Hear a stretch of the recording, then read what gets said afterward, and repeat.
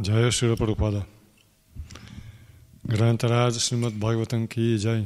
Benvenuti ascoltatori dello Srimad Bhagavatam, siamo alla 49esima puntata.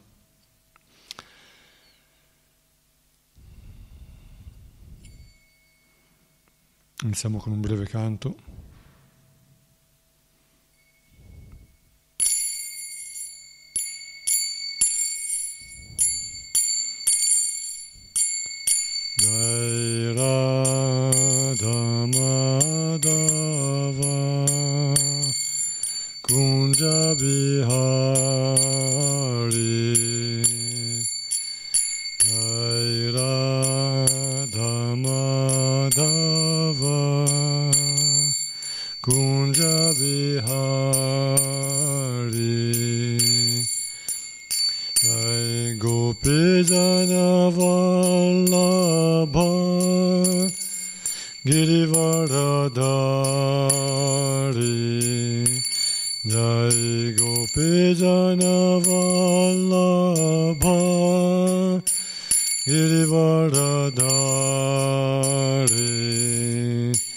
Yashodanandana Vrajajanaranjana Yashodanandana Vrajajanaranjana Yamunatira Vanachari Yamunatira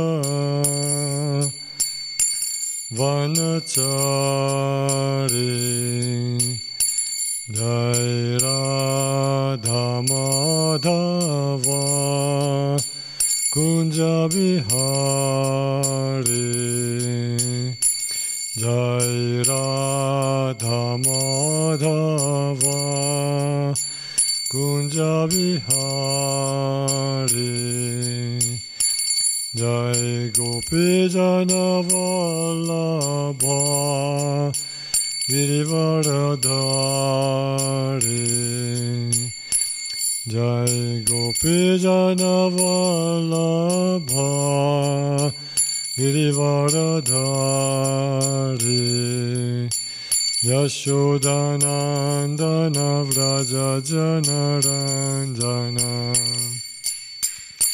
Shodhanandana Vraja Janaranjana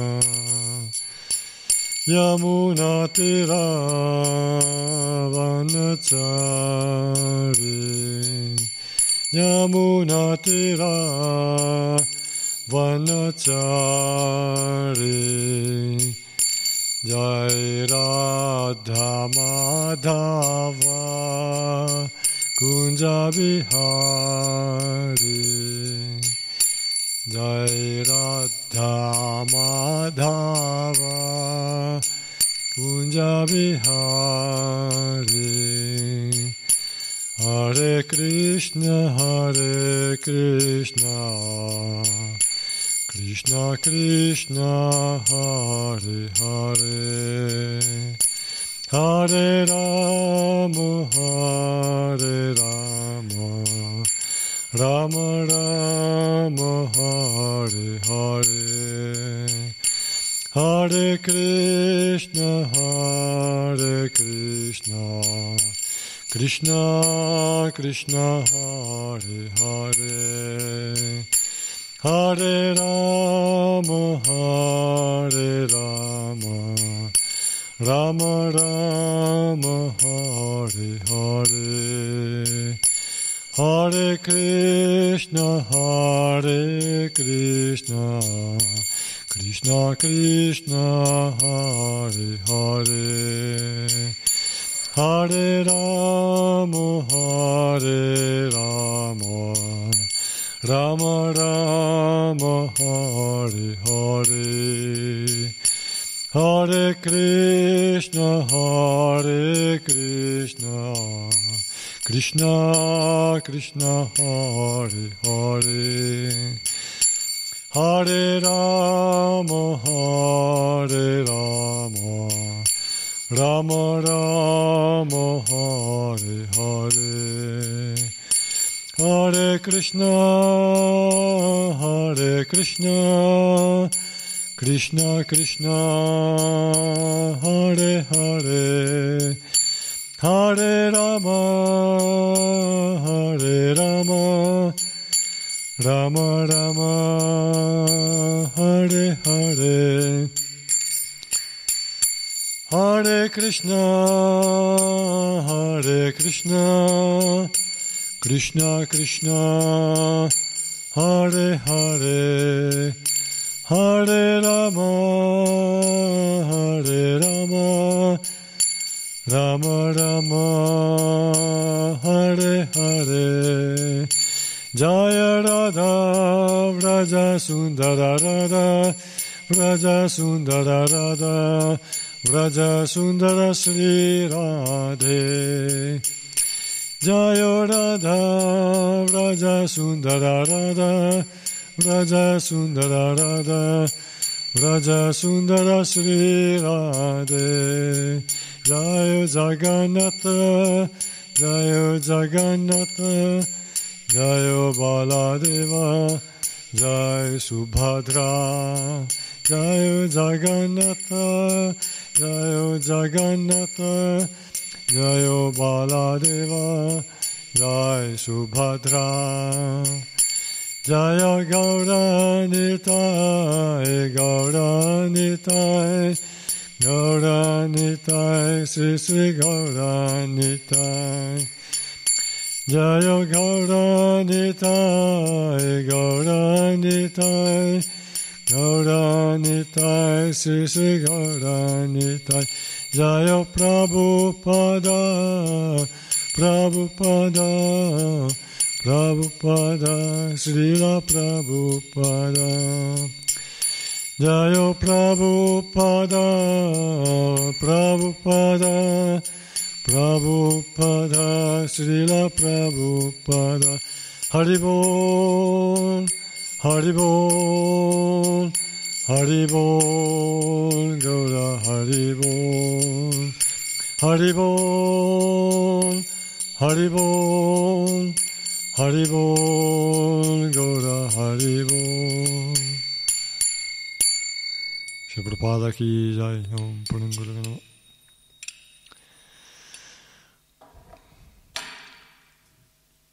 Om Namo Bhagavate Vasudevaya.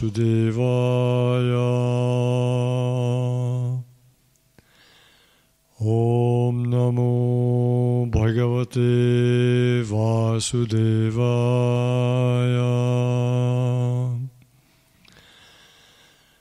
Om Namo Bhagavate Vasudevaya. Om Jnana Timirandasya Jnananjana Shalakaya Chakshurmilitam Yena Tasmai Shri Gurave Namaha. Namo Vishnupadaya Krishna Prishtaya Bhutale. Srimate Bhaktivedanta Swaminiti Namine Namaste Sarasvati Deve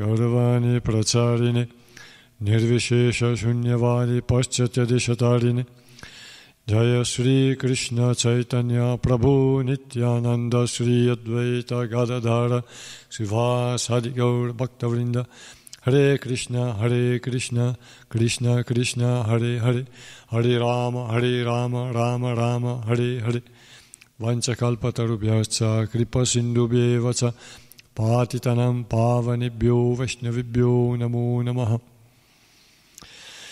Narayana Namaskritya Naram Chaiva Narottamam Devim Sarasvatim Vyasam Tato Jayamudirayet Offriamo il nostro rispettoso omaggio al Signore Supremo Narayana, al, al saggio Nara, il migliore tra gli uomini, alla Dea Sarasvati, Madre del Sapere, a Srila Vyasadeva, l'autore poi che quest'arma di conquista sia enunciata.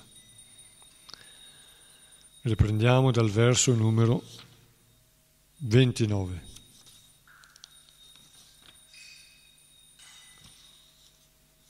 Anzi, prima leggiamo tutto il capitolo, solo i testi come abitudine, così li impariamo anche bene. Primo verso. Om Namo Bhagavate Vasudevaya.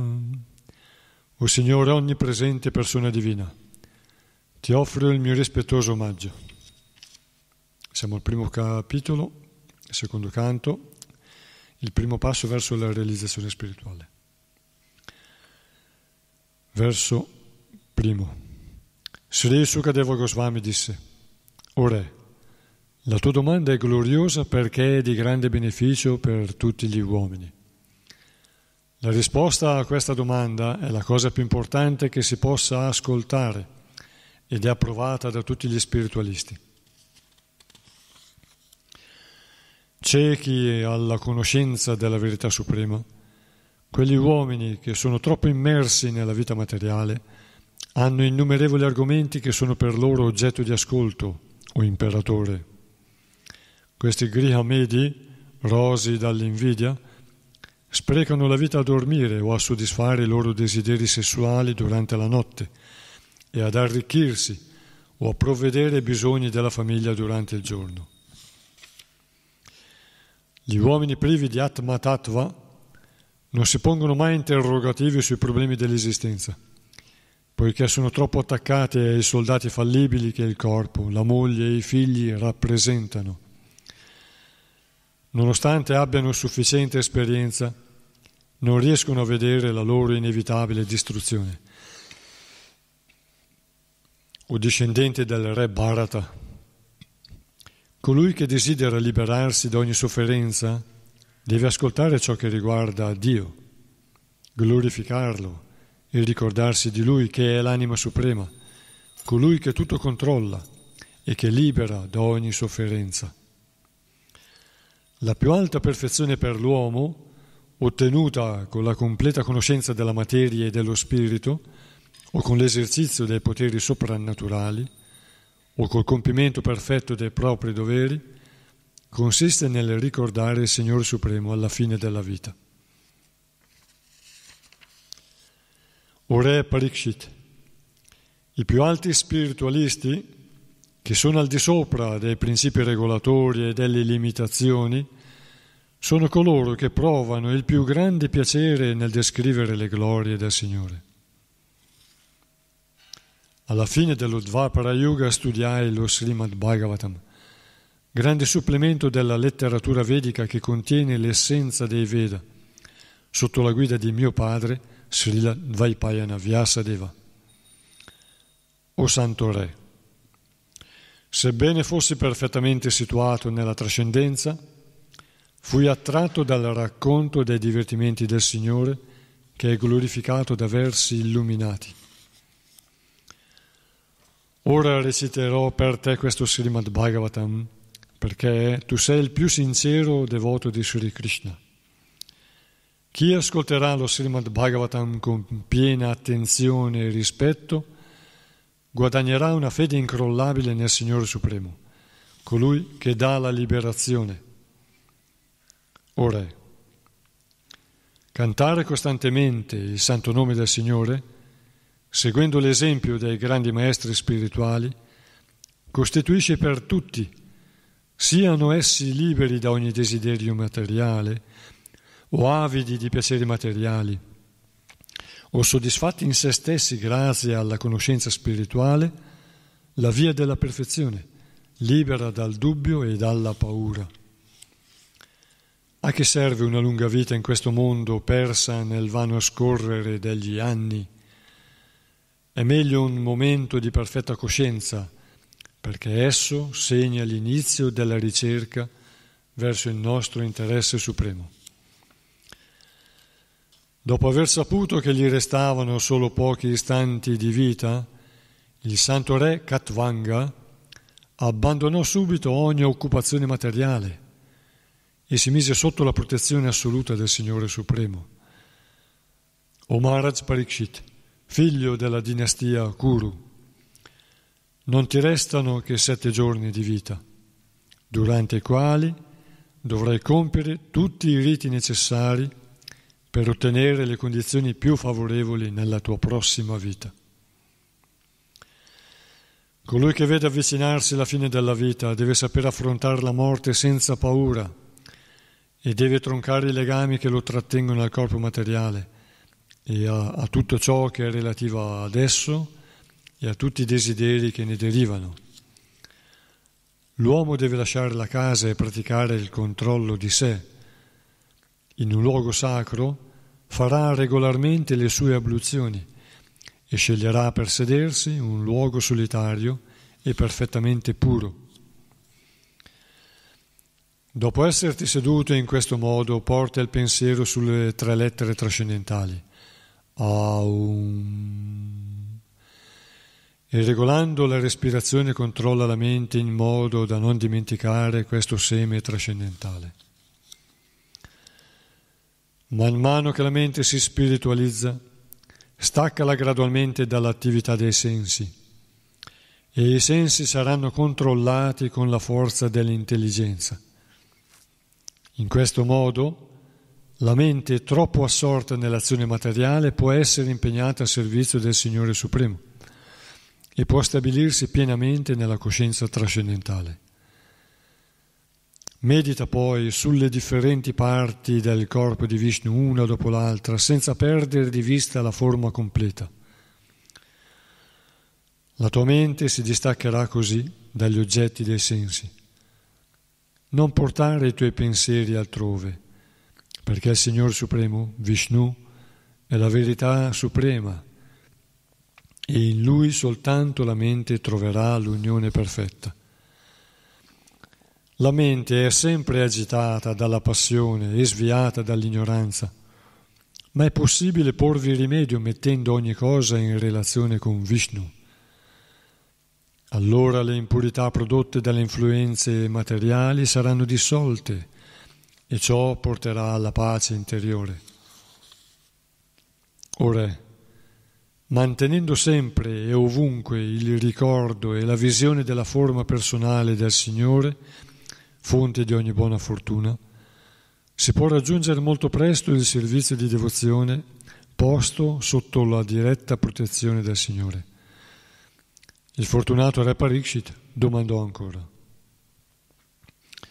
O Brahmana, ti prego, spiega nei particolari dove e come dirigere i pensieri e anche come usare l'intelligenza per eliminare le impurità della mente.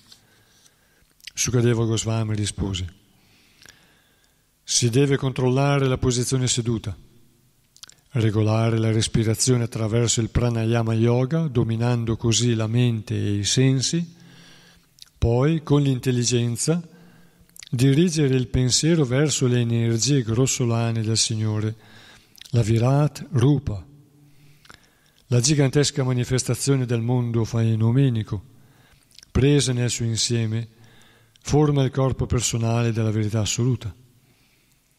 In essa si trova la nozione di passato, presente e futuro propria dell'universo materiale. La gigantesca forma universale del Signore Supremo, manifestata all'interno dell'universo che è ricoperto da sette strati di materia, è l'oggetto della concezione Virat. Secondo gli studiosi che conoscono questa forma universale del Signore, i pianeti conosciuti come Patala formano la pianta dei suoi piedi e quelli detti Rassatala sono i suoi talloni e le dita dei suoi piedi. Le sue caviglie sono i pianeti Mahatala e le sue gambe sono i pianeti Tala Atala. I pianeti Sutala costituiscono i ginocchi della forma universale i pianeti Vitala e Atala le sue cosce. Mahitala rappresenta i suoi fianchi e lo spazio intersiderale è il suo ombelico. I corpi celesti luminosi costituiscono il petto del Signore originale in questa sua forma gigantesca.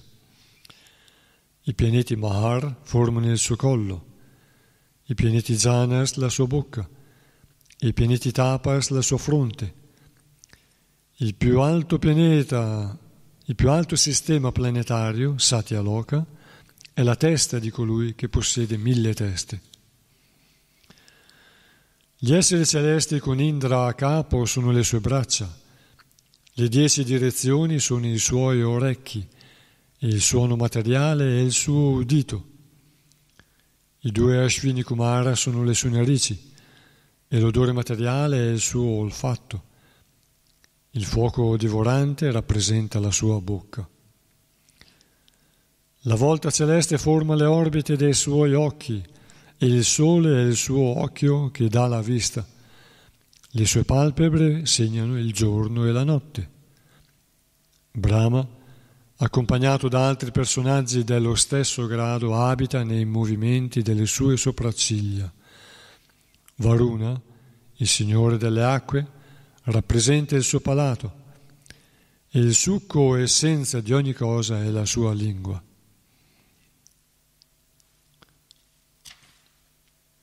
Essi spiegano inoltre che gli nivedici rappresentano il cervello del Signore e le sue mascelle sono Yama, il dio della morte, che punisce i peccatori.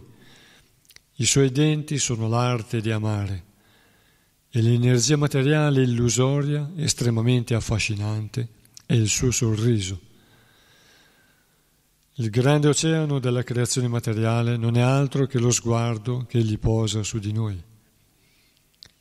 La modestia è il suo labbro superiore, la bramosia è il suo mento, la religione è il petto del Signore e l'irreligione è la sua schiena. Brahmaji, il procreatore di tutti gli esseri dell'universo materiale, rappresenta il suo organo genitale e il Mitra Varuna e i suoi testicoli. L'oceano è la sua vita e le colline e le montagne sono la sua ossatura. O i fiumi sono le vene che irrigano questa forma colossale, gli alberi sono i peli del suo corpo e l'aria onnipotente è il suo respiro.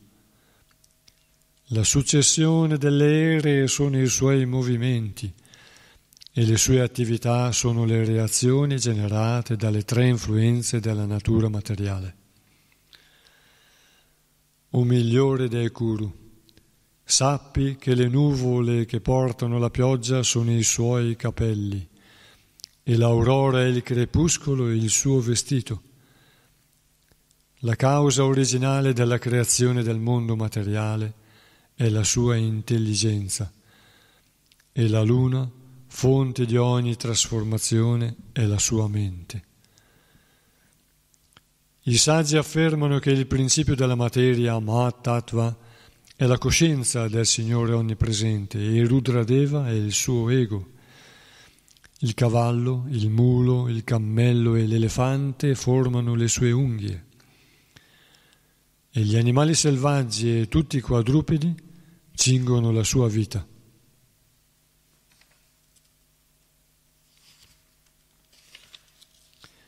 La varietà degli uccelli indica il suo incomparabile senso artistico. Manu, il padre dell'umanità, è l'emblema della sua intelligenza esemplare e l'umanità è il suo luogo di residenza. Gli esseri celesti come Gandharva, i Vidyadhara, i Charana e gli angeli rappresentano il suo senso musicale e i guerrieri demoniaci sono la sua incomparabile audacia. I Brahmana rappresentano il volto del Virat Purusha, gli Kshatriya le sue braccia, i Vaishya le sue cosce, e i Sudra sono sotto la protezione dei suoi piedi. Anche tutti gli esseri celesti degni di adorazioni sono in questa, fo- sono inclusi in questa forma universale ed è dovere di ognuno offrire sacrifici con gli elementi disponibili per soddisfare il Signore. Così ti ho descritto la persona suprema nella sua gigantesca forma fatta di elementi materiali. Colui che seriamente desidera la liberazione concentra la mente su questa forma del Signore, poiché non c'è niente di superiore nell'universo materiale. Bisogna concentrare la mente su Dio, la persona suprema, l'uno senza secondi, che si moltiplica in innumerevoli manifestazioni, come un uomo crea nel sogno migliaia di manifestazioni. Su di lui, l'unica verità assoluta, piena di felicità, bisogna saper fissare la propria attenzione, altrimenti si sarà sviati e si diventerà la causa della propria degradazione. Bene, riprendiamo a leggere dal ventinovesimo verso. Leggo anche il, il sanscrito del, di questo primo verso, ventinovesimo. Indra dayo bhava aurushra karnau disha shrotram mamushya shabda na satya dashrau paramasya nase grihanosya gandho mukam agniridda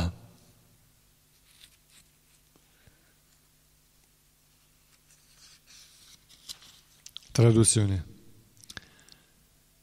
Gli esseri celesti, con Indra a capo, sono le sue braccia.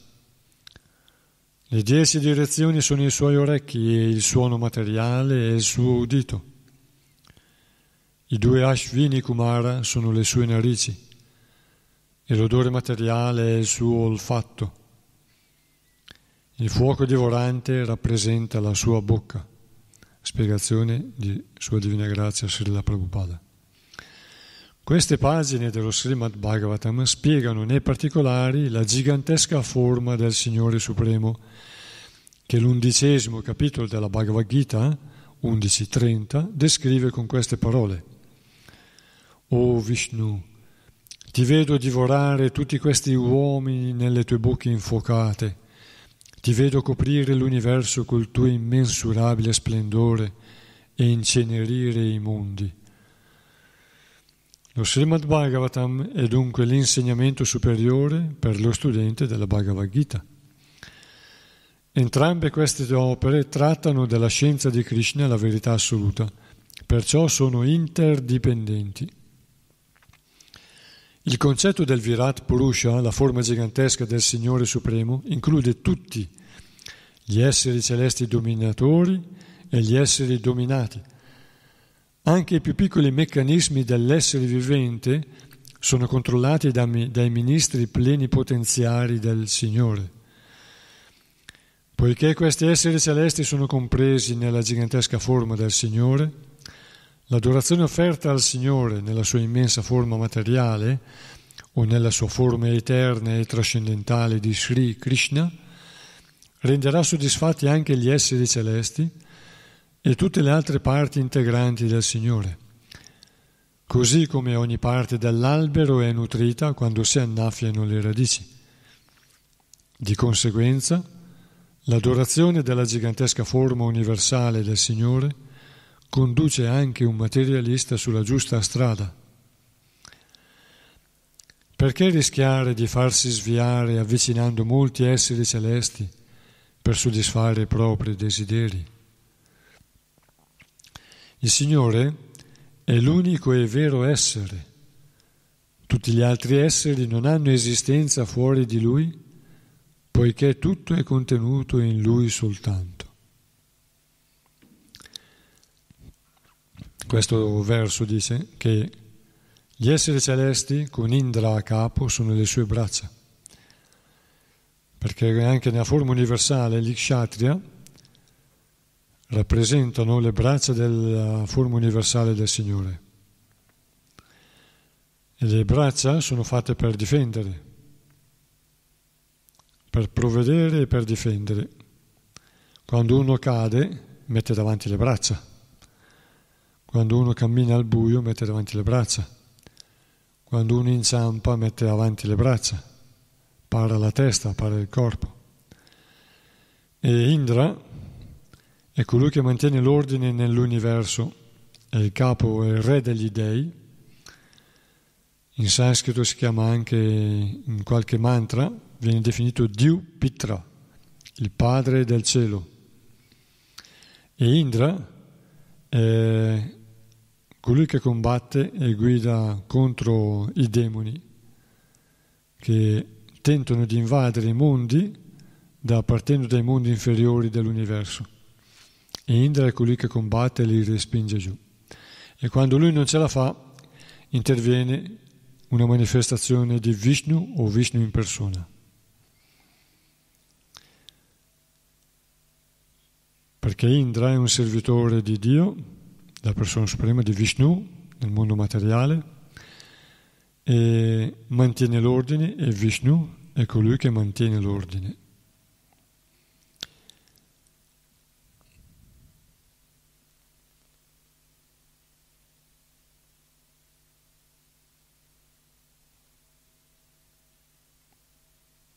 Anche i più piccoli meccanismi dell'essere vivente, quindi del nostro corpo, sono controllati dai ministri plenipotenziali, plenipotenziari del Signore. Infatti gli esseri celesti hanno il potere, un potere che si estende, si espande. Per questo che i neofiti della vita spirituale, nelle varie religioni, ritengono le manifestazioni eh, ultraterrene, manife- eh, credono che sia Dio. In realtà sono una parte di Dio e sono servitori di Dio. Ma non tutti gli esseri celesti sono Dio in persona, ma sono eh, in grado di manifestare un potere e di diffondere la loro influenza nell'universo in, in un modo inconcepibile per la mente umana. E le religioni primitive riconoscono, cioè ritengono queste manifestazioni come se fossero Dio, l'essere supremo. I Veda invece ci informano che Deva Deva, il Signore dei Deva, il Signore degli Dei, è Vishnu. Nel mondo materiale e nel mondo spirituale è Vishnu e, e colui da cui emana Krishna, l'essere originale primordiale. Verso 30. La volta celeste forma le orbite dei suoi occhi, il sole è il suo occhio che dà la vista. Le sue palpebre segnano il giorno e la notte. Brahma, accompagnato da altri personaggi dello stesso grado, abita nei movimenti delle sue sopracciglia. Varuna, il signore delle acque, rappresenta il suo palato. Il succo e essenza di ogni cosa è la sua lingua. Spiegazione di Srila Prabhupada. Questo verso sembra contraddire la logica, poiché agli occhi del Signore sono paragonati ora al sole, poiché gli occhi del Signore sono paragonati ora al sole, ora alla volta celeste. Ma la logica non trova posto nelle affermazioni degli Shastra. Più che soffermarsi sull'aspetto logico è meglio accettare le descrizioni degli Shastra e concentrarsi sulla forma virata. La logica è sempre imperfetta, mentre le descrizioni date dagli Shastra si rivelano sempre perfette e complete. Se vi troviamo qualche incoerenza, Ciò è dovuto alla nostra imperfezione e non a quella delle scritture. Questo è il modo di avvicinare la saggezza vedica. La logica, come la concepiamo noi, umani, terrestri, è limitata, è basata solo sulla nostra esperienza. Ma il mondo al di là della di questa nostra dimensione terrena è ricco di varietà e di trasformazioni che alla fine manifestano la realtà. La realtà degli esseri celesti è diversa dalla realtà degli esseri umani. Noi possiamo capirlo già nei nostri, nei nostri sogni, nel nostro piccolo. Quando sogniamo, i limiti del corpo svaniscono e la mente può fare delle cose incredibili e fuori di una logica e di una costruzione fisica grossolana. E vediamo che una cosa diventa un'altra durante il sogno, però porta avanti delle manifestazioni di, di rivelazione, di, di verità. è una realtà che, che prosegue. E questo è nel piccolo che possiamo sperimentare noi. Nella realtà molto più vasta degli esseri celesti, degli dei, dei Deva, questo è, ha delle manifestazioni di valore incalcolabile per la nostra mente, inconcepibile. Non riusciamo neanche a capire come si manifesta il fuoco. Noi partiamo, produciamo del fuoco e poi il fuoco va da sé, si manifesta e si ingrandisce. Noi mettiamo un legno sul fuoco e quel legno diventa fuoco. Il fuoco agisce da sé come un essere vivente. Infatti il fuoco è un essere celeste. E nella cultura vedica il fuoco è ritenuto sacro. La Manusamita insegna che non si urina, non si sputa, non si, non si getta sporco sul fuoco e così via. E perché appunto il fuoco va ritenuto sacro, va rispettato. E vediamo che il fuoco si manifesta, manifesta la sua energia uguale in tutte le parti del mondo. E ecco il fuoco è una personalità sacra, divina, e la sua influenza si manifesta in tutto il mondo allo stesso modo. Che dire dunque di riuscire a concepire come si manifesta la realtà nel mondo spirituale? Non riusciamo neanche a capire come si manifesta la presenza di, del Signore nel cuore di ogni essere all'interno di ogni atomo e segue ognuno e è cosciente di ogni cosa. Quindi Sia Prabhupada ci insegna giustamente che la logica nostra è sempre imperfetta. Quindi noi vediamo che gli occhi, l'occhio del Signore è il Sole, il Sole è l'occhio, e a volte invece l'orbita del cielo, la volta celeste, sono i suoi occhi. Vediamo queste trasformazioni veloci.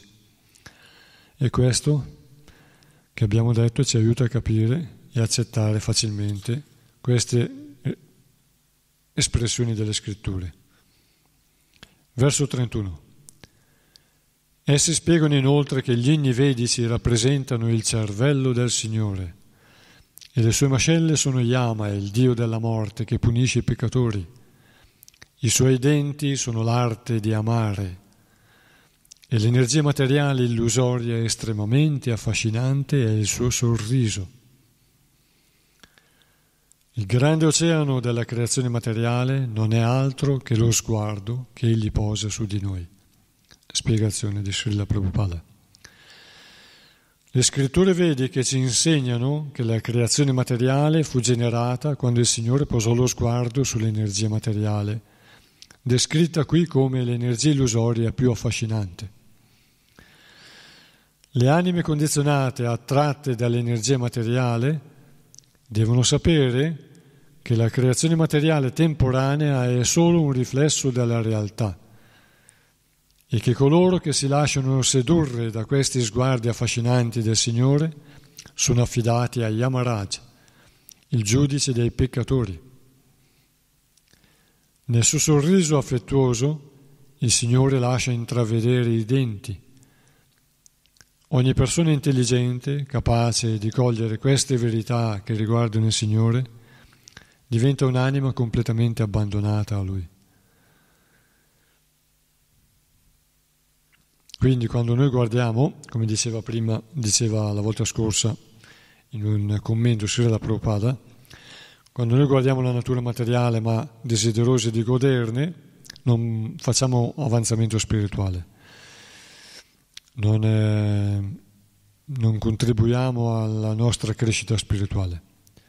Ma quando contempliamo la natura, la creazione, il cielo, e pensiamo alla grandezza di Dio, quel pensiero ci fa progredire spiritualmente, ci fa sviluppare devozione. E in quel modo noi stiamo cercando Dio nella creazione.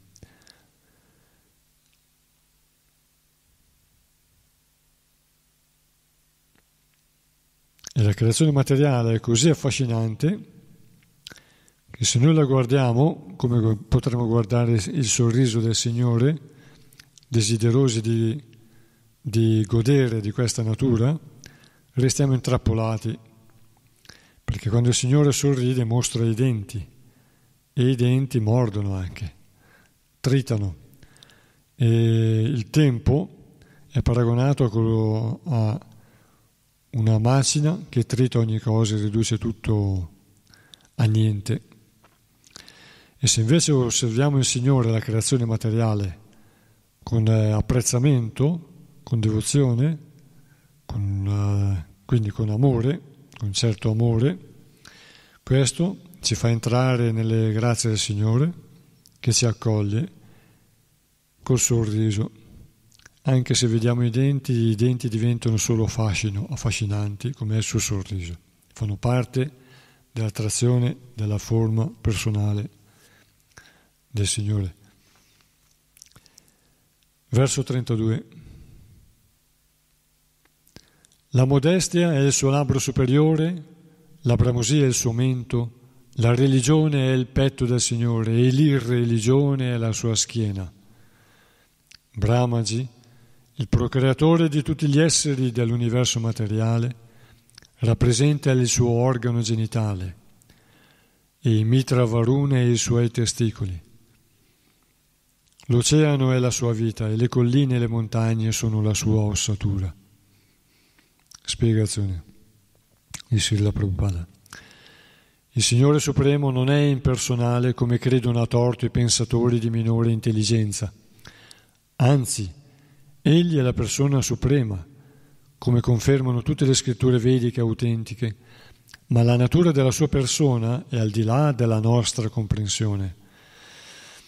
Questo verso spiega che Brahmaji agisce come l'organo genitale del Signore e i Mitra Varuna sono i suoi testicoli.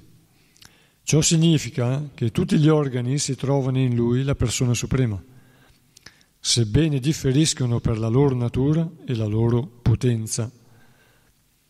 Perciò, quando si dice che il Signore è impersonale, significa che la sua personalità è diversa da quella che possiamo concepire con le nostre imperfette facoltà intellettive. È possibile tuttavia adorare il Signore anche solo riconoscendo nelle colline, nelle montagne, negli oceani e nel cielo le varie parti del suo corpo gigantesco, il Virat Purusha. La Virat Rupa che Sri Krishna manifestò davanti ad Arjuna è una sfida ai non credenti.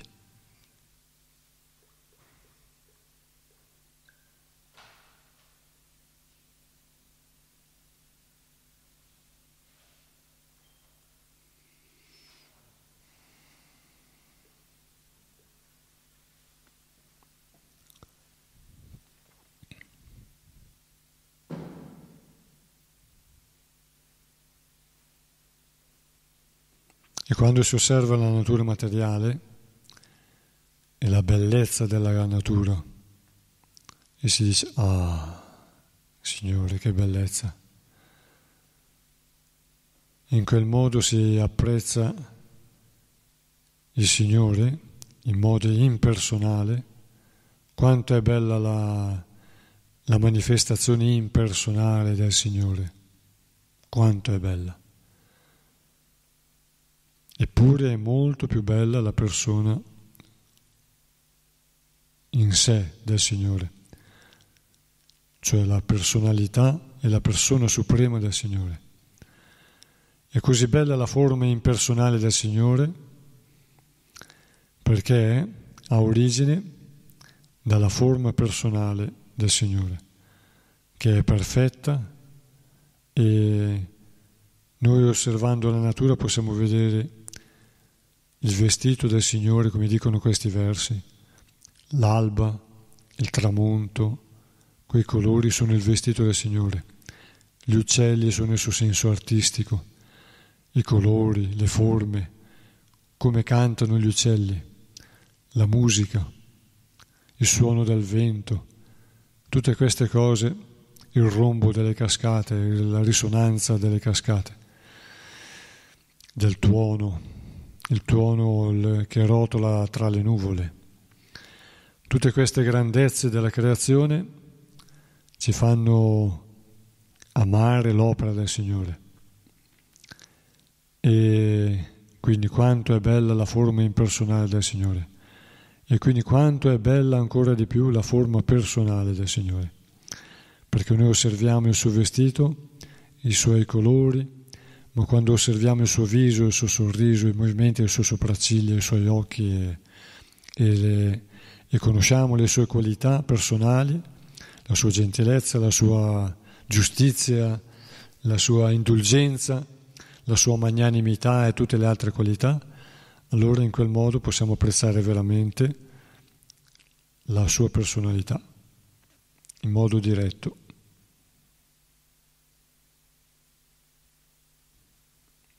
Verso 33. Ora i fiumi sono le vene che irrigano questa forma colossale, gli alberi sono i peli del suo corpo e l'aria onnipotente è il suo respiro. La successione delle aerei sono i suoi movimenti e le sue attività sono le reazioni generate dalle tre influenze della natura materiale. Spiegazione di Srila Prabhupada. Dio, la persona suprema, non è affatto inerte, privo di vita e nemmeno inattivo, come miseramente sostengono alcune scuole filosofiche. Egli si muove con lo scorrere del tempo, perciò conosce tutto del passato, del futuro e delle sue attività presenti. Nulla gli è sconosciuto. Le anime condizionate sono guidate dalle relazioni delle influenze della natura materiale, che sono paragonate alle attività del Signore. Come insegna la Bhagavad Gita 7.12, le influenze della natura agiscono solo sotto la sua direzione. Perciò nessuna delle forze della natura è cieca o automatica. È la potenza dietro ogni attività la vis- e la potenza dietro ogni attività è la visione ordinatrice del Signore. Perciò il Signore non è mai inattivo come alcuni pretendono. I Veda spiegano che il Signore Supremo non è tenuto a intervenire personalmente, ma tutto si compie secondo la sua volontà, come avviene nel caso di qualsiasi personaggio importante. Non un filo d'erba si muove senza l'approvazione del Signore, dice il proverbio. La Brahma Samhita 5.48 afferma inoltre che tutti gli universi e i Brahma che li governano esistono solo per la durata di un solo respiro, come conferma il nostro verso. L'atmosfera che sostiene gli universi e i loro pianeti non è che una parte del respiro dell'onnipotente Virat Purusha. In questo modo anche lo studio dei fiumi, degli alberi, dell'aria e dello scorrere del tempo permette di concepire la persona suprema senza cadere nel concetto impersonale, senza forma del Signore. La Bhagavad Gita afferma che coloro che sono troppo attratti dalla concezione impersonale della verità assoluta incontrano maggiori difficoltà di coloro che riescono con l'intelligenza ad accettare il suo aspetto personale. Quindi è stato detto che il Signore è personale e la sua presenza si può percepire anche in modo impersonale all'interno della creazione, della manifestazione materiale. E un gradino superiore all'aspetto impersonale è la sua presenza nella creazione. Immaginare appunto, cioè ognuno di noi può percepire in modo spontaneo la presenza di Dio nella creazione. Però questo metodo dello Srimad Bhagavatam ci insegna a vedere che i capelli sono, le nuvole sono i suoi capelli, il sole e la luna sono i suoi occhi, l'alba e il tramonto sono il suo vestito, gli uccelli sono il suo senso artistico, e ci aiuta a identificare le varie parti del suo corpo in questo modo, anche se questa in realtà è ancora una forma impersonale, non è la sua forma personale diretta, ma è un gradino superiore semplicemente alla, pre- alla percezione della, dell'aspetto impersonale. La percezione o, o, o la fede eh, la fede che si eh, stabilizza semplicemente sull'aspetto impersonale, nel credere che Dio è impersonale. Verso 34. O migliore del Kuru, sappi che le nuvole che portano la pioggia sono i suoi capelli e l'aurora e il crepuscolo il suo vestito. La causa originale della creazione del mondo materiale è la sua intelligenza e la luna, fonte di ogni trasformazione, è la sua mente.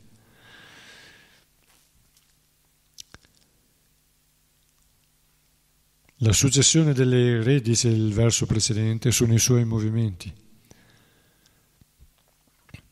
E infatti eh, il tempo della creazione avviene e scade tutto nello spazio del suo, della sua espirazione e della sua ispirazione, nel tempo del suo respiro.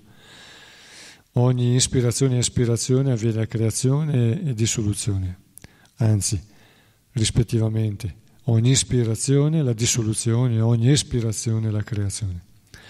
A ogni espirazione emanano gli universi e a ogni ispirazione ritornano nel suo corpo. E questo periodo di tempo per noi dura migliaia di miliardi di anni. Il tempo che dura la vita del Dio creatore, Brahma.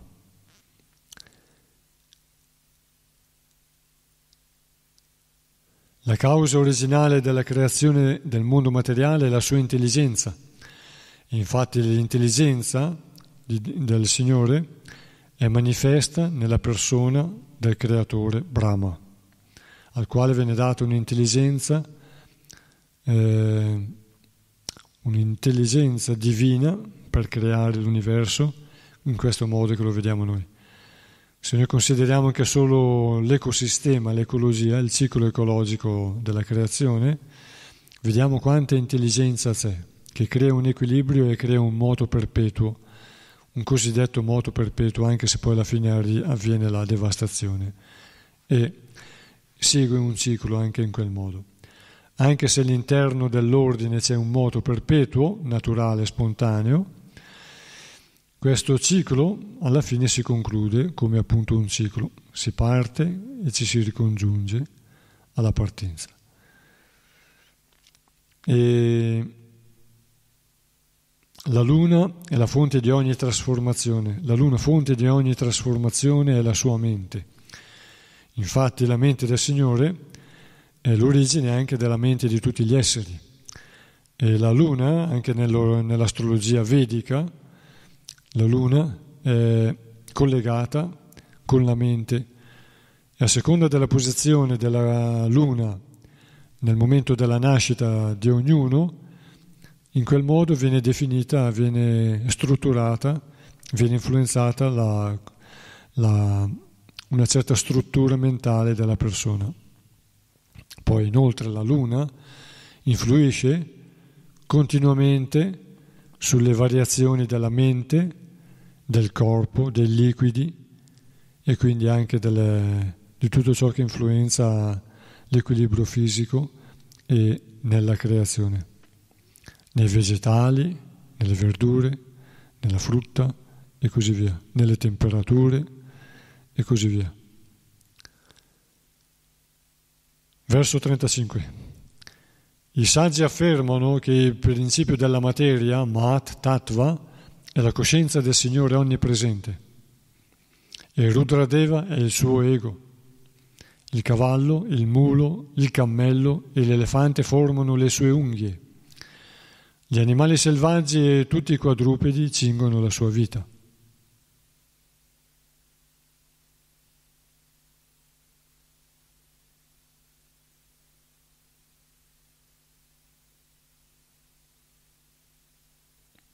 Quindi il mulo era già considerato anche migliaia e migliaia di anni fa. Il mulo è l'incrocio tra, tra i genitori, cavallo e asino.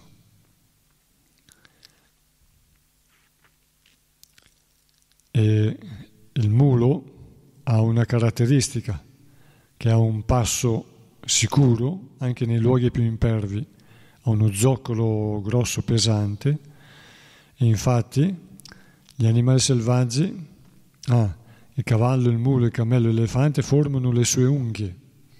Infatti lo zoccolo del mulo è stabile, molto stabile. È ritenuto, considerato anche in questa posizione, che rappresenta una parte di, di, di questa creatura, rappresenta le unghie del, di questa forma universale. E gli animali selvaggi cingono la sua vita, sono nella zona della sua vita, della sua cintura. Verso 36. La varietà degli uccelli indica il suo incomparabile senso artistico. Manu, il padre dell'umanità, è l'emblema della sua intelligenza esemplare e l'umanità è il suo luogo di residenza. Gli esseri celesti come Gandharva, i Vidyadhara, i Charana e gli angeli rappresentano il suo senso musicale i guerrieri demoniaci sono la sua incomparabile audacia. Spiegazione di Srila Prabhupada. Il Signore manifesta il suo senso estetico nella creazione artistica di uccelli multicolori come il pavone, il pappagallo e il cucù gli esseri celesti come Gandharva e Vidyadhara hanno una voce così dolce che affascinano anche gli esseri del paradiso coi loro canti. Il loro talento musicale rappresenta il gusto musicale del Signore. Come si può dunque considerare il Signore impersonale?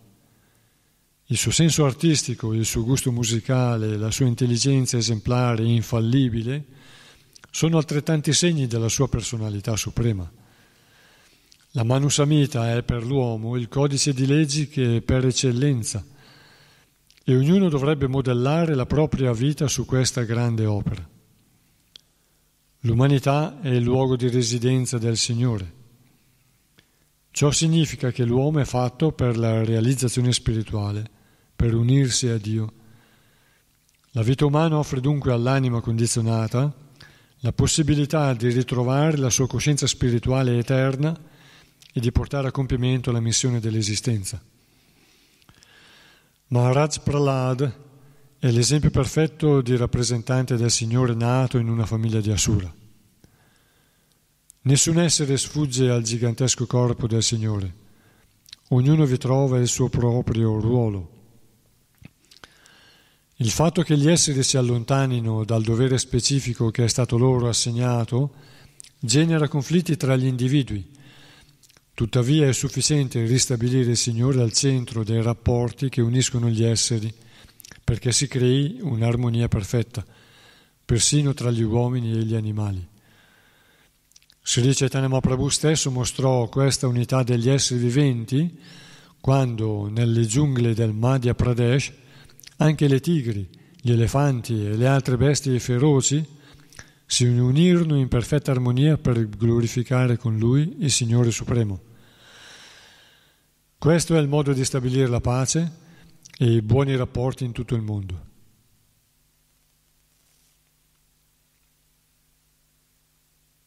Manu, il padre dell'umanità, è l'emblema della sua intelligenza esemplare. La Manu Samhita è una scrittura in cui Manu considera tutti gli aspetti della vita, delle varie fasi della vita, e dà i codici per la società umana. E, e lì si manifesta l'intelligenza esemplare di Manu. E l'umanità è il luogo di residenza del Signore. Gli esseri umani, con tutti i loro difetti, con tutti i nostri difetti, siamo invidiati perfino dagli esseri celesti perché siamo in grado di manifestare dei sentimenti um, delle manifestazioni del cuore che sono capaci di cose straordinarie.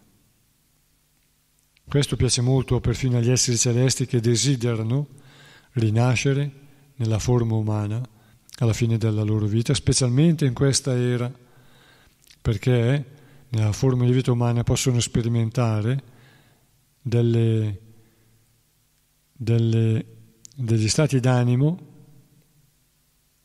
che vanno che danno un senso di grandezza dell'animo umano, della devozione. Specialmente in questa epoca c'è un metodo di realizzazione per gli esseri umani che è molto semplice e molto facile. L'ha insegnato Sri Chaitanya Mahaprabhu, l'avatar di Krishna 500 anni fa. Per liberarsi basta semplicemente cantare o recitare in qualsiasi modo i nomi di, del Signore nella forma del Maha Mantra, 16 parole con tre nomi di Krishna. Hare, Krishna e Rama, questi sono tre nomi della, della grande preghiera, il grande mantra, e vengono nominati 16 volte.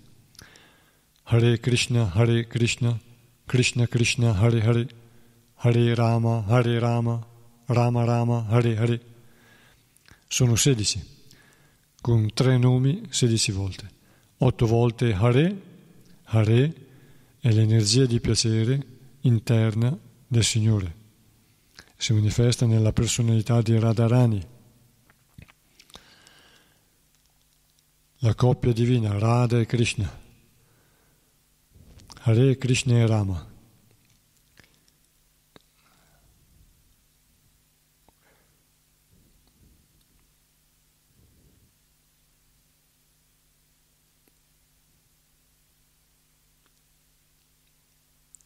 Gli esseri celesti desiderano nascere in questa epoca per adottare questo, questo metodo per liberarsi, perché anche gli esseri celesti, trovandosi nei loro mondi superiori, così belli, appaganti e così, così desiderabili, in condizioni di vita così desiderabili e facilitata, con persone belle, gentili e così via, anche se lì si può essere disturbati, dalle qualità come l'invidia oppure eh, disturbate da anche dagli esseri demoniaci che tentano di invadere i mondi superiori, anche lì c'è ansia, però in quei mondi si desidera eh, godere di quelle condizioni e il tempo passa e poi si è costretti, fino esauriti i meriti delle, delle proprie vite precedenti, meriti buoni,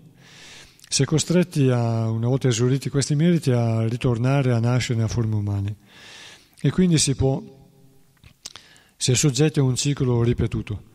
E quando si cade dai pianeti superiori non è detto che si prenda per forza la forma umana. Nei mondi superiori ci sono anche gli animali, così anche sulla Terra. E non è detto che quando si lascia una forma di vita, per forza si riprende di nuovo la forma umana. Come dice qui Sukadeva Goswami in un verso precedente, a Maharaj Parikshit, hai solo sette giorni di vita, ma in questi sette giorni tu dovevi fare tutte le, le pratiche spirituali che ti permettono di ottenere le, buone, le migliori condizioni possibili nella tua vita futura.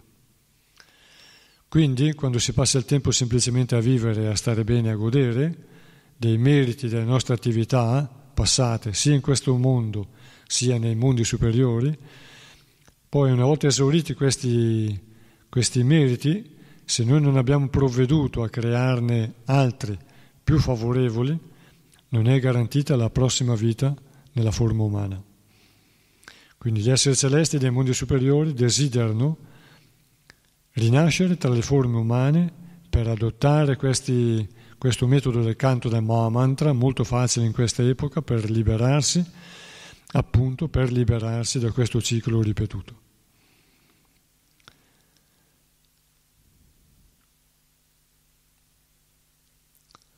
Una volta c'è un aneddoto, una dit, di, riguardo alla storia di Maometto. Durante una battaglia gli uomini di Maometto erano pronti a sfid- a, ad affrontare nello schieramento coloro che erano ostili a Maometto.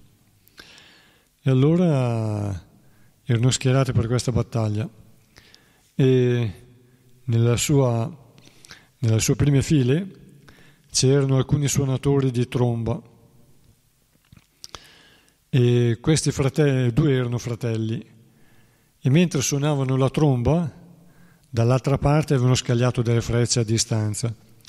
E le frecce colpirono questi, anche questi due fratelli.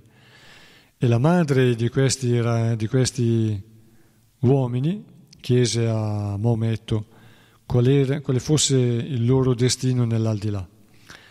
E Maometto disse, sono due pappagalli seduti vicino al trono di Allah. E,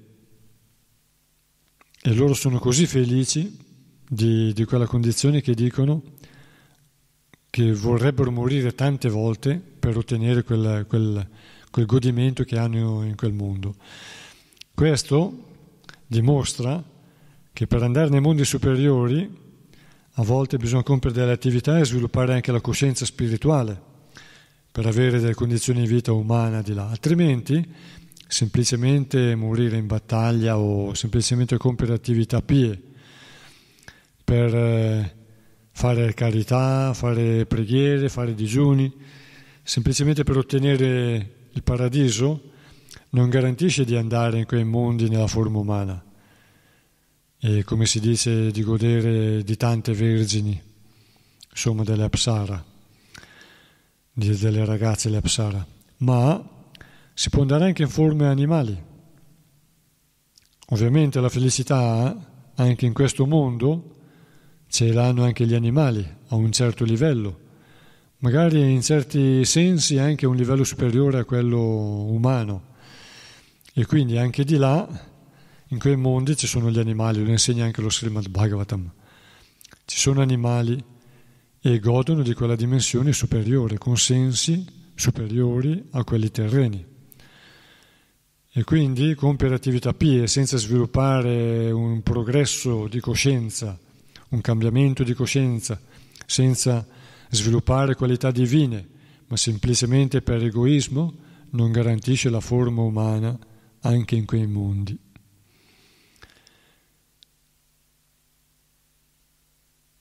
Quindi nei paradisi ci sono anche gli animali. Io mi ricordo una volta, primi anni 80, la prima volta che sentii questa affermazione la sentii da Bhagavan durante una sua lezione. Disse, nei mondi superiori, nei paradisi, nei pianeti superiori ci sono anche gli animali. Quindi non bisogna aspirare semplicemente ad andare nei mondi superiori. Appunto bisogna sviluppare coscienza spirituale, che è quella che poi ci porta nel mondo spirituale da dove non si deve più ricadere. E queste informazioni del Bhagavatam sono utili a tutti i praticanti di qualsiasi religione.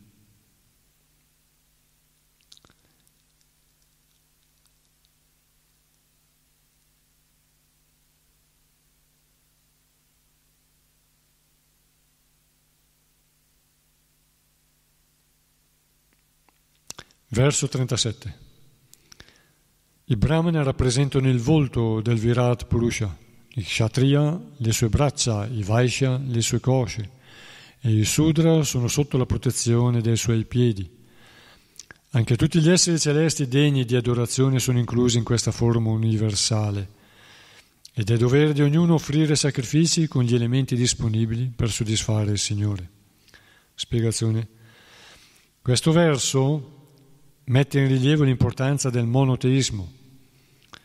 Sebbene le scritture vediche suggeriscano di offrire sacrifici a molti esseri celesti sotto differenti nomi, questo verso spiega che tutti gli esseri celesti sono inclusi nella forma del Signore Supremo e sono soltanto parti integranti del tutto originale. Il corpo del Supremo contiene anche tutti i Varna, le divisioni della società umana. I brahmana, gli intellettuali, i kshatriya, i dirigenti e gli amministratori, i vaishya, gli, agri- gli agricoltori e i commercianti, e i sudra, la classe operaia. Si raccomanda quindi che ognuno offra in sacrificio per la soddisfazione del Supremo gli elementi di cui dispone la, secondo la propria posizione sociale. Generalmente le oblazioni consistono di burro chiarificato e cereali, ma con l'evoluzione degli ultimi secoli l'uomo ha saputo produrre molti oggetti impiegando le materie prime fornite dalla natura materiale di Dio. Perciò l'uomo deve imparare a offrire in sacrificio non solo burro chiarificato e cereali, ma anche i diversi prodotti che ha, pro, che ha saputo fabbricare e usarli per diffondere le glorie del Signore, il che renderà perfetta l'umanità intera. I Brahmana, ispirandosi agli acharya precedenti, potranno dirigere l'esecuzione di questi sacrifici. Gli kshatriya provvederanno a fornire gli elementi necessari al loro compimento. I Vaishya potranno produrre e offrire gli ingredienti per il sacrificio e i Sudra potranno offrire la loro manodopera per il successo del sacrificio. Così la cooperazione di tutti i Varna renderà possibile il compimento del sacrificio raccomandato in queste età, cioè il canto collettivo e pubblico del santo nome del Signore, per il bene di tutti gli abitanti della terra.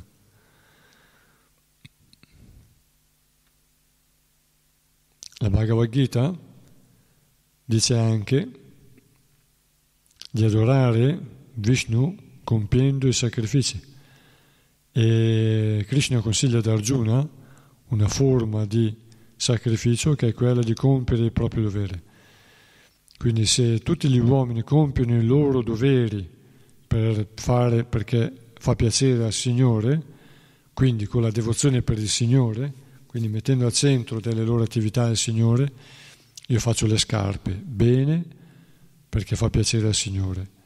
Essere onesti fa piacere al Signore. Quindi fare il bene degli altri fa piacere al Signore. Krishna dice nella Bhagavad Gita, colui che pensa sempre al bene di tutti gli esseri mi è molto caro. Colui che non dà mai ansietà a nessun essere vivente e non è mai causa di ansietà per gli altri e lui stesso non è mai in ansietà, mi è molto caro.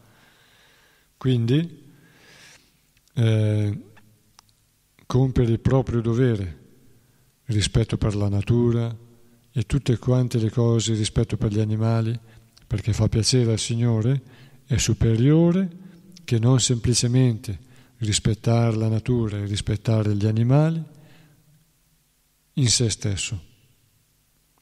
Quindi superiore all'azione, dice la Bhagavad Gita, è l'azione devozionale. Quindi, prima di tutto, compiere l'azione in virtù, ma mettere il Signore nei nostri pensieri, nella nostra volontà, è virtù purificata, virtù pura. E non causa legame con la natura materiale, mentre le attività in virtù generano felicità materiale, ma generano un coinvolgimento e un legame con la natura materiale, perché si è costretti a nascere per raccogliere frutti buoni delle proprie attività. Invece le attività compiute per devozione al Signore non generano rinascita, ma portano sempre più vicini a sviluppare amore per Lui.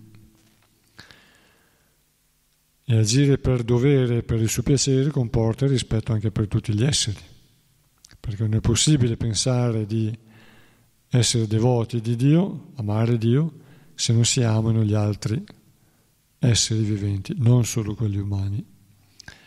Quindi gli spiritualisti sono di vari livelli. Il primo livello, quello del neofita, è che vede solo lui e il Signore, la sua relazione tra lui e il Signore. E quindi è separatista, si separa dagli altri. Il vero spiritualista vede i principi della spiritualità in tutte le forme di religione e li rispetta, e così quelli che non rispettano le altre forme di religione devono fare un gradino in più per far piacere al Signore.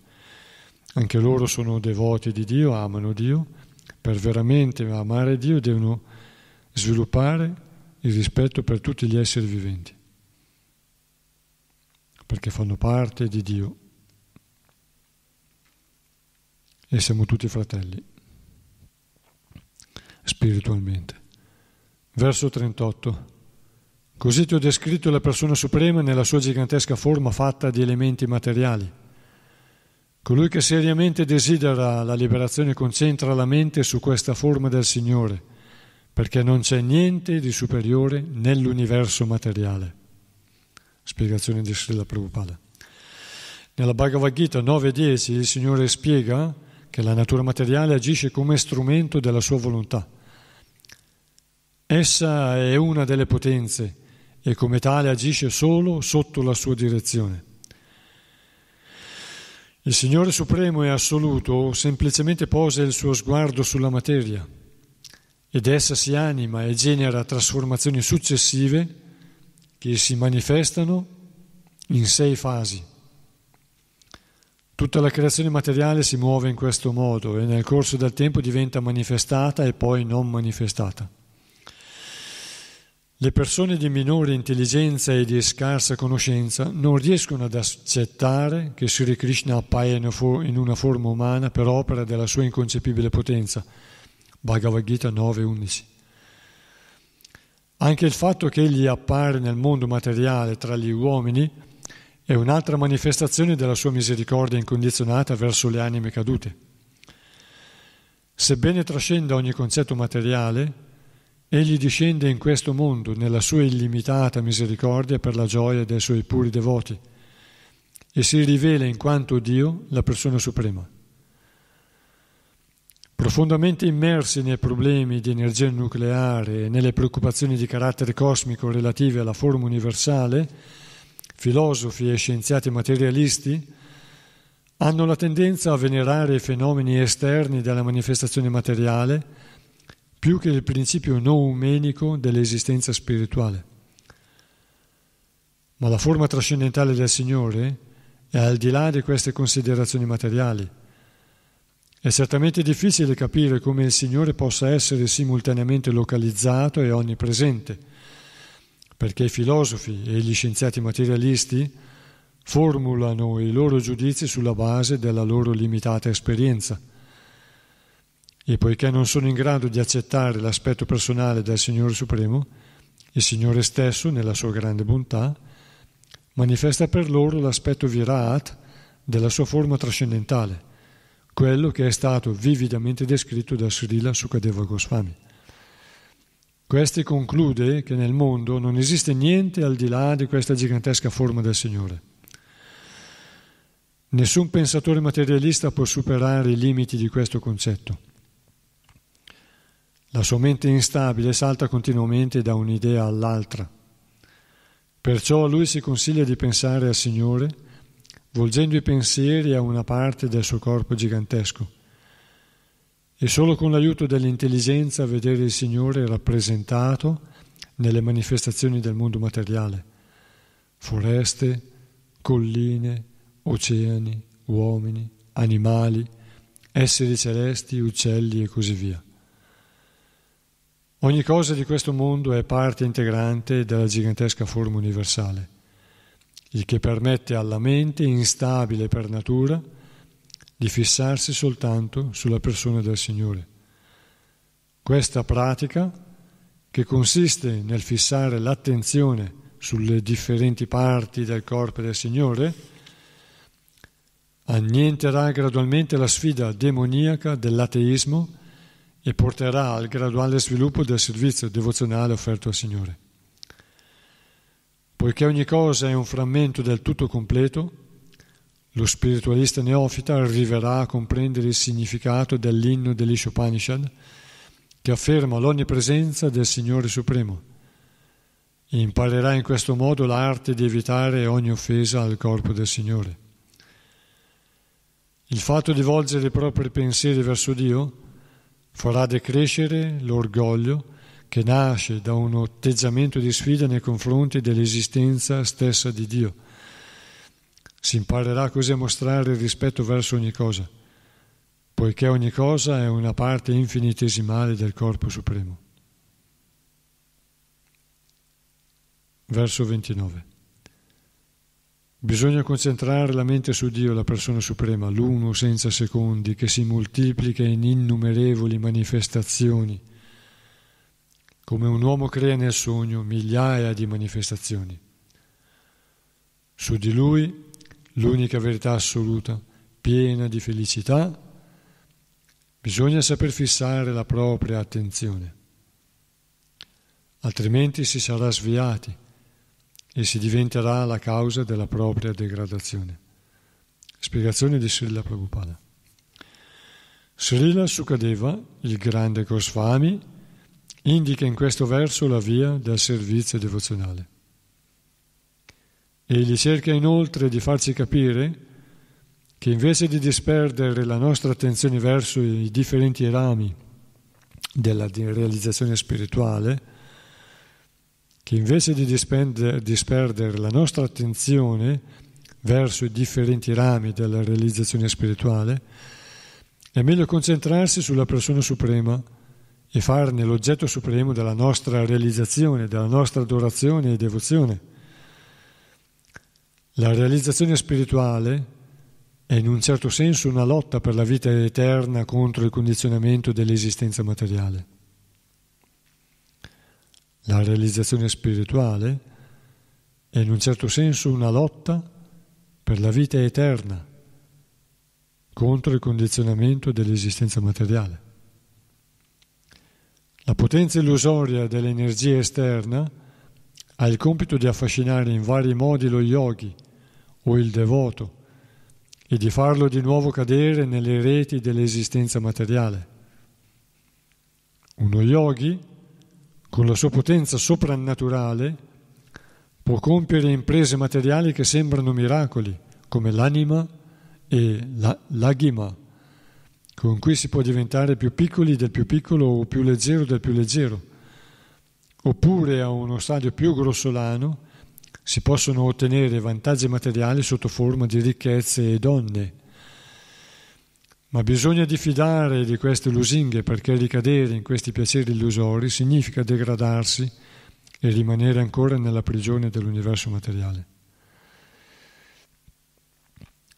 Questo avvertimento dovrebbe spingerci a seguire solo la nostra intelligenza vigile. Il Signore Supremo è uno ma le sue emanazioni sono molteplici. In questo modo egli è l'anima suprema di tutto ciò che esiste. Quando un uomo vede qualcosa con i suoi occhi, deve sapere che la sua vista agisce solo in un secondo tempo, dopo quella del Signore. Infatti Dio vede ogni cosa prima che essa diventi visibile ai nostri occhi. Questo è l'insegnamento dei Veda e delle Upanishad. Perciò qualunque cosa vediamo o facciamo, il Signore diventa l'anima suprema di questi atti. Sri Chaitanya Mahaprabhu insegnò la teoria di questa inconcepibile differenza e non differenza che esiste tra l'anima individuale e l'anima suprema, chiamandola Acintya Beda Beda Tattva.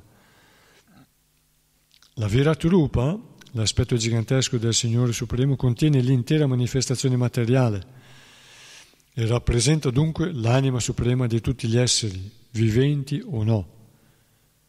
Ma la vera trupa è anche la manifestazione di Narayana o Vishnu. E proseguendo così scopriremo alla fine che Sri Krishna è l'anima suprema di tutto ciò che esiste. In conclusione, Bisogna dedicare senza esitazione tutta la nostra adorazione a Sri Krishna o a Narayana, la sua emanazione plenaria. Gli inni vedici spiegano chiaramente che in origine Narayana posò lo sguardo sulla materia e in questo modo ebbe luogo la creazione dell'universo. Prima della creazione non c'erano né Brahma né Shiva e tantomeno gli altri esseri. Sripada Shankaracharya accettò senza il minimo dubbio il fatto che Narayana è al di là della creazione materiale e che tutti gli altri esseri fanno parte di questa creazione. Perciò la creazione materiale è uguale a Narayana e allo stesso tempo è differente da lui, il che conferma la filosofia Acintya Beda Beda Tattva del Signore Chaitanya Mahaprabhu.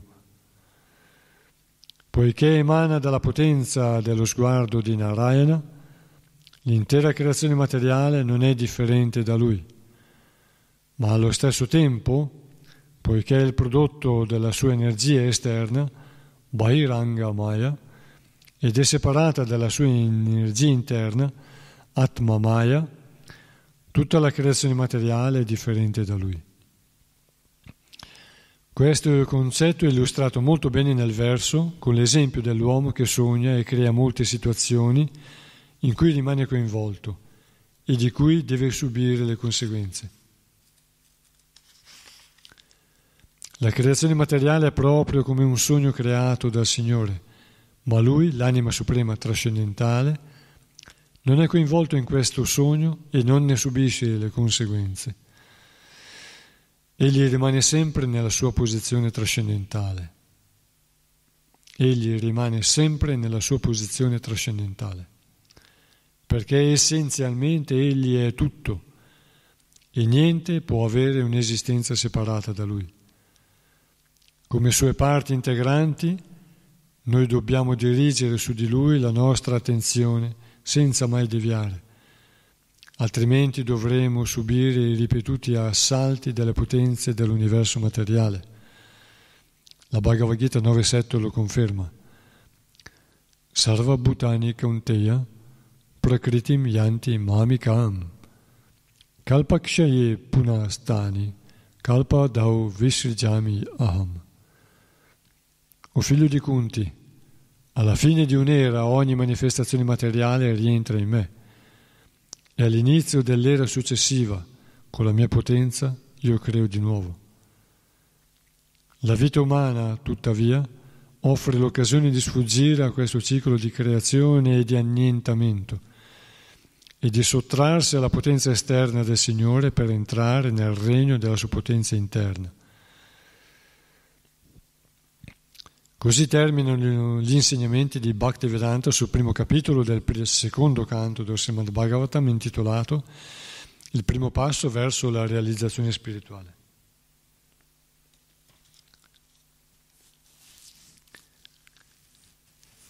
E il verso dice altrimenti si sarà sviati, su di lui bisogna fissare la propria attenzione senza deviare, altrimenti si sarà sviati e si diventerà la causa della propria degradazione. E qui Srila Prabhupada semplifica il verso dicendo che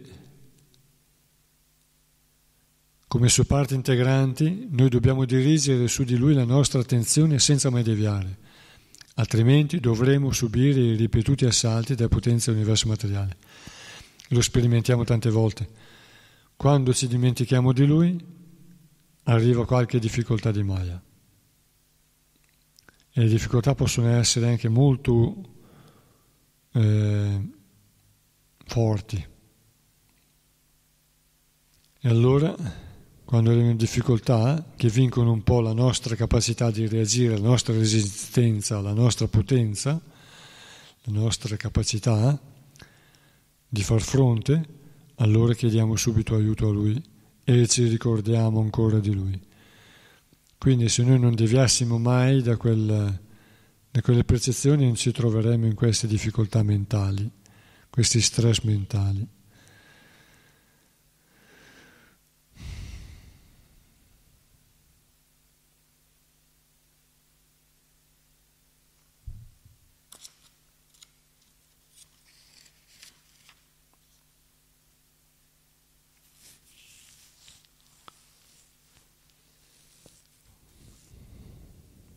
Acintya Beda Beda Tattva, che significa?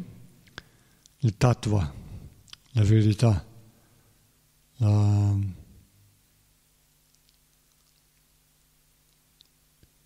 la comprensione dell'aspetto inconcepibile che è inconcepibile simultaneamente inconcepi- eh, sim- eh, inconcepibilmente è uguale e differente allo stesso tempo. Acinte Beda Beda Tattva. Quindi il Signore, ogni cosa emana da Lui, la natura quindi non è diversa da Lui, come dicono gli impersonalisti, ma allo stesso tempo, come dice Sri Chaitanya Mahaprabhu, eh, nella filosofia Cintia Beda Beda, è simultaneamente uguale e differente, perché Lui è la persona e la manifestazione tutte le altre manifestazioni, eh, anche la natura materiale, sono uguali, eh, siccome vengono da lui, sono uguali a lui, ma non sono lui personalmente. Quindi allo stesso tempo uguale e differente. La filosofia di Sri Chaitanya Mahaprabhu è successiva a quella di, del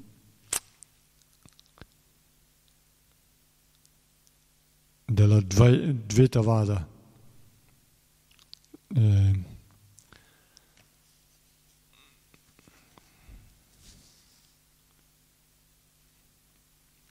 che è precedente appunto è di un maestro della nostra successione, Madhvacharya, nato a Udupi, nel sud dell'India, nel Kerala, e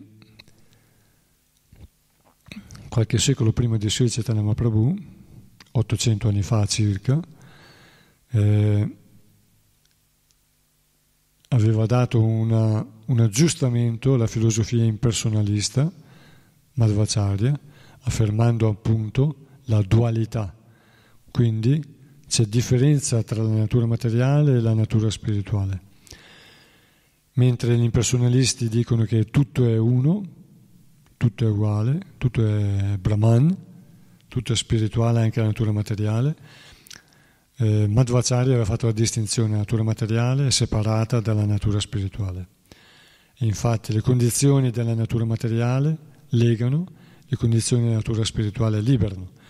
Sri Chaitanya Mahaprabhu ha fatto la perfezione, il perfezionamento di questa comprensione, il tattva, poiché è una manifestazione diretta di Sri Krishna e quindi la, l'intelligenza divina diretta ci insegna che la natura materiale è uguale, allo stesso tempo differente. Bene, ci fermiamo qui e continueremo settimana prossima dal secondo capitolo dello Srimad Bhagavatam secondo canto. ग्रांतराज श्रीमद्भागवत की जय श्रील प्रभुपाद की जय ॐ परं गुरवे नमः।